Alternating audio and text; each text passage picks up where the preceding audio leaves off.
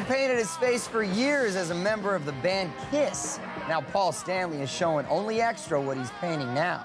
Here's Mark McGrath.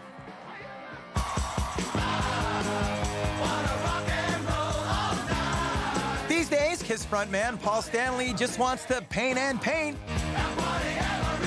After moving from the recording studio to the art studio, I started doing art when I was little. And turning his secret childhood passion into a lucrative new career that's brought him critical acclaim and millions of dollars over the past year alone. The results are staggering. You know, the, the amount of people acquiring the art has been mind-boggling. And the 55-year-old rock icon invited Extra to his Beverly Hills home.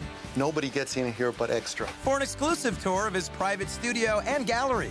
I never painted with the idea of showing anybody. And Paul revealed it began with this piece he calls Scream.